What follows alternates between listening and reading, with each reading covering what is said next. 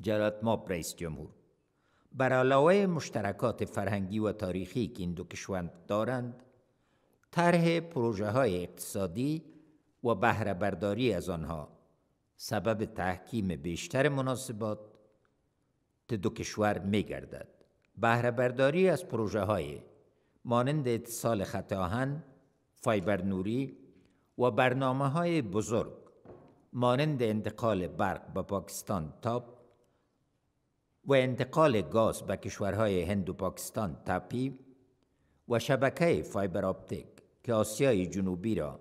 از راه زمین به اروپا و باقی کشورهای جهان وصل خواهد کرد سبب تغییرات بهتر در شرایط زندگی مردم افغانستان و بهبود وضعیت کشورهای منطقه از سوی دیگر.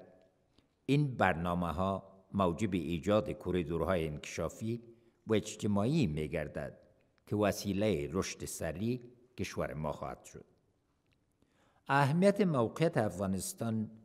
من حیث چهارراه اتصال آسیای مرکزی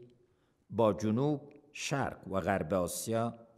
بهره برداری و ادامه کار پروژه های مهم اقتصادی و زیربنایی از جمله افتتاح خط آهن خاف اراد که اخیرا شاهدان بودیم به اثبات میرساند که دیدگاه ما برای اتصال منطقوی رویا نه بلکه یک واقعیت انکار ناپذیر است. گسترش موفقیت آمیز همکاری های افغانستان با کشورهای آسیای میانه مثال خوب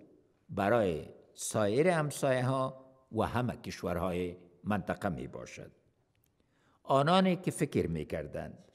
که ایجاد شبکه خط در افغانستان محال است